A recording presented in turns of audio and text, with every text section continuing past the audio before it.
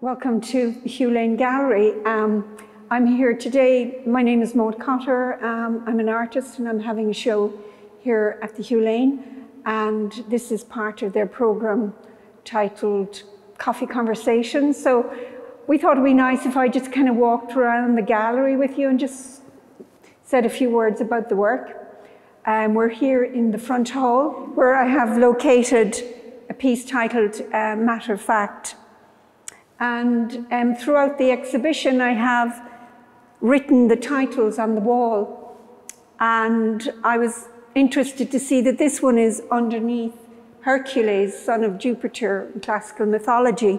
And um, I'm not particularly drawn to his great feats of strength, but I do take a prompt from his sense of action.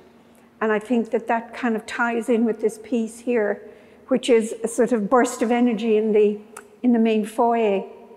Um, when I was starting to make this piece, I, I first located some of these devices here, which are literally just curtain rings, as things that I could use as devices so that I could spin or locate the drawing around that. And it was a very free form drawing I did.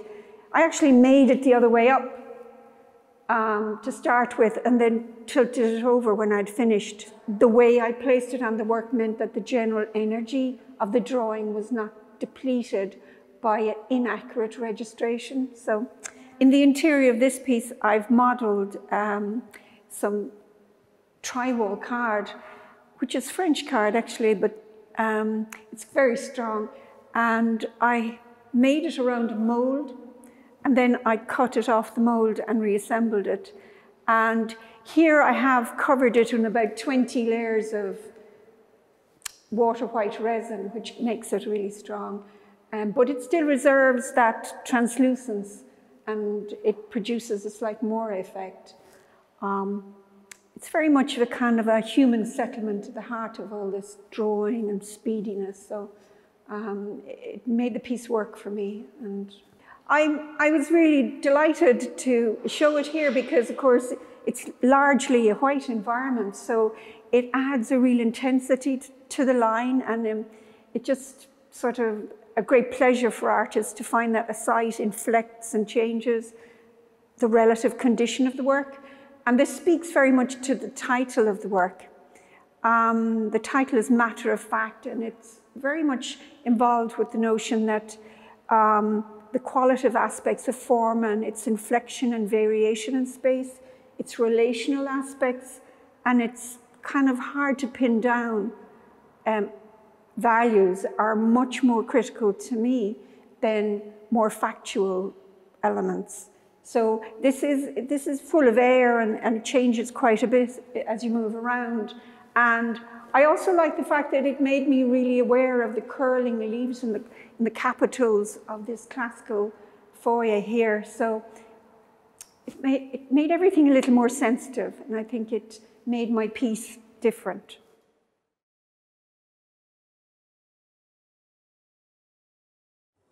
For this piece, I'm just going to say a few words about the collaboration I did with Coracle Press and specifically with Simon Cutts, who's a poet a poet. Um, Simon had a very strong and positive response to a piece I made, which was a series of um, hot water bottles that I cut in half and I cast. And um, well, he had such a strong response to it that I asked him to title the piece. And um, he eventually came up with this title, Unique Forms of Continuity in Space um, which is uh, Boccioni, the Italian futurist, um, a very famous piece of his. I really liked it because it talks about the kind of propagative element of my work, that their notion of an evolution of form that continues through time and space. So um, I stripped out the capitals, which kind of makes the text flow and as a result of this involvement, Simon decided he'd make a book, which he has done. Um, it consists of a short essay, some plates of the works, and he wrote um, five poems as well, which I was very pleased about.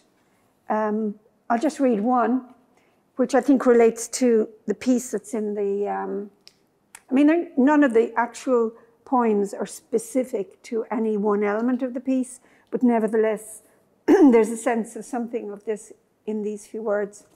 Um, ingot or unzipped jiggot of pig iron.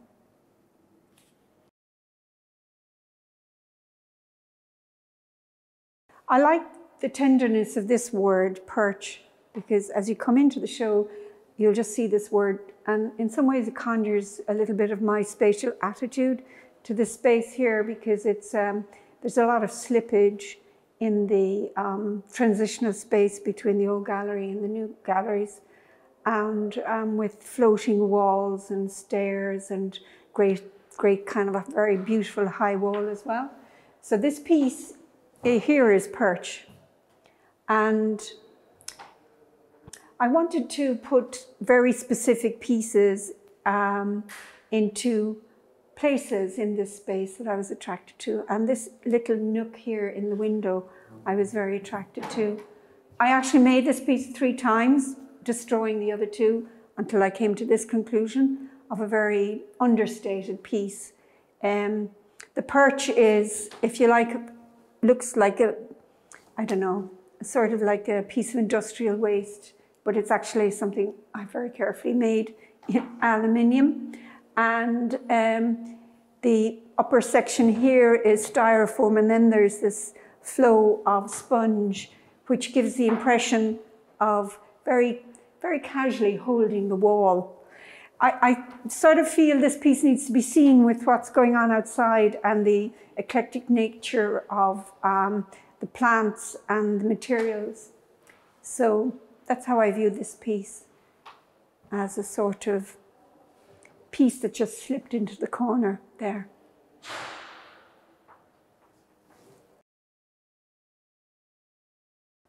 Um, this piece is titled Somewhere Else, and um, again, just the top of this wall, I felt offered an opportunity, you know, to just engage with the space. So I was very interested in the this vertical section and how the compression of the ceiling comes down and how the walls kind of move in on either side, creating this compressed space at the tip of the wall.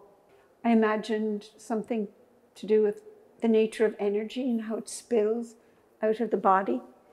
And, you know, I suppose it's about that edge of formation in form. And I used aluminium and um, acrylic mirror and plastic because of their ability of those materials to um, play with light by transmission and um, other forms. Mostly the light is bouncing off them. So it just spills out in this direction into the space.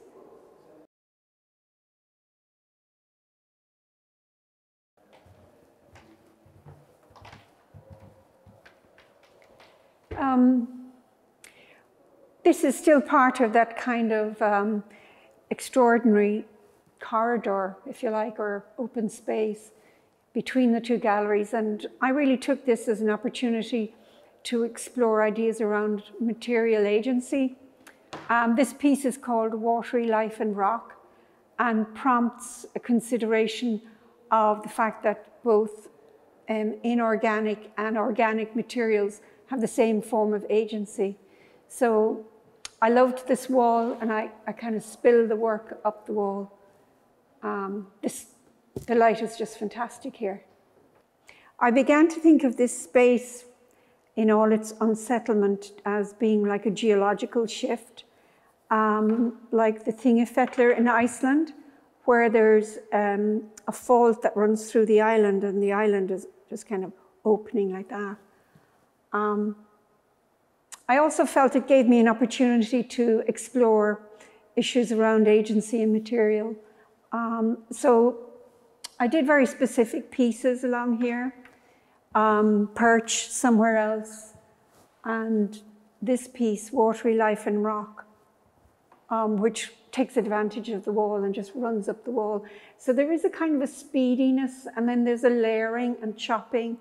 Things are floating, unsettled. There, there are slits. In fact, I called one of the piece, pieces slit um, in this space. In this section here, I was very drawn to the slit. Beautiful slit here. It's, it's such a sculptural moment. It provides huge kind of an opportunity sculpturally.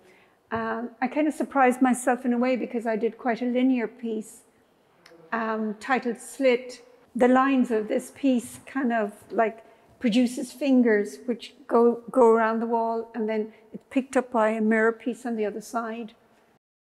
And I was interested in how the virus, COVID virus, actually entered the cell and how it then, if you like, optimized its own existence and, and created um, a hybrid of its experience in the body and then escaped to, to propagate itself in other areas.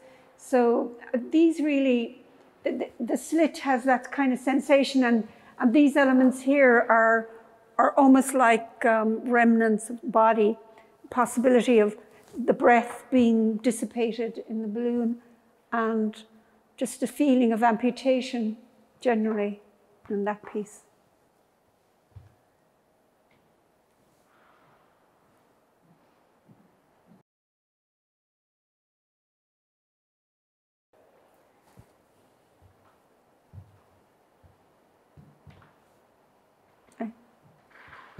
Um, this piece I titled A Dappled World, um, which is a reference to the uh, Gerard Manley Hopkins poem. I think his, um, some of his words, counter, original, spare, and strange, said something to me about the eclectic nature of the varying layers in this piece. And um, I guess about the, the compact and kind of immense variety of material, both um, man-made and, and organic materials and how they play off one another.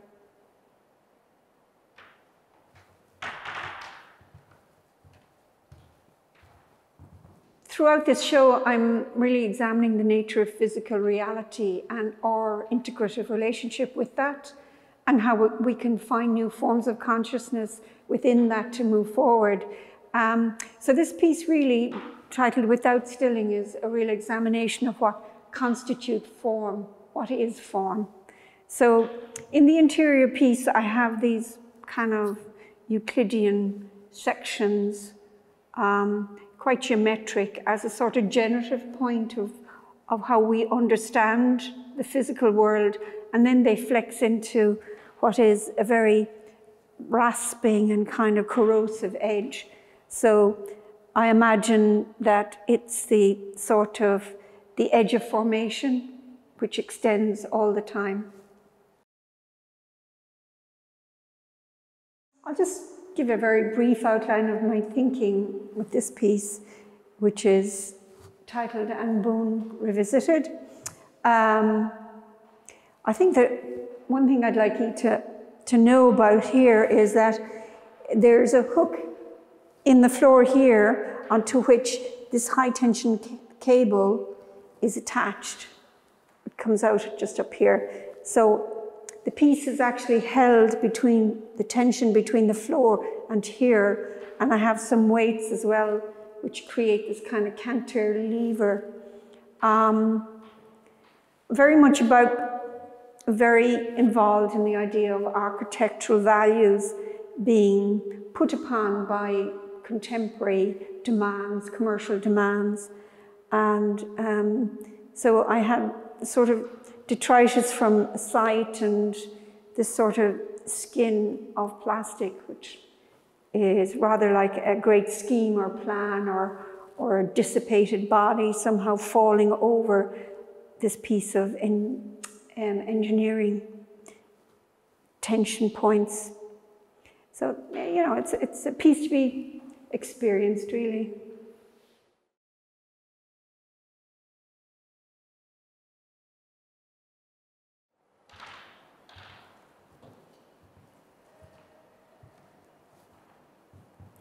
Um, well, one thing I'd like to tell you about this piece, it's to do with the title of the piece, which is called A Breather of Air.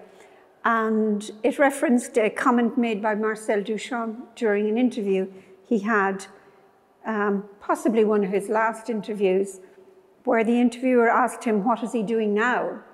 Slightly disrespectful kind of question. But anyway, he said, Je suis un respirateur. And I kind of translated that as a breather of air. But what attracted me to it was the fact that um, he'd acquired such a level of consciousness and throughout his practice. And um, I felt in a way that had become a piece in itself, just his mind. Um, very, very involved in thinking about our, our care of our minds and um, also human consciousness in terms of it, extending it in terms of our understanding of material. So there is a sense of kind of slippage of air from this piece. These vertical structures are made of stainless steel, and I wanted something light that wasn't particularly industrial in its reference, so I chose these different sections which kind of have a feeling of um, timber or just small little sticks. I quite like the, the lightness of that.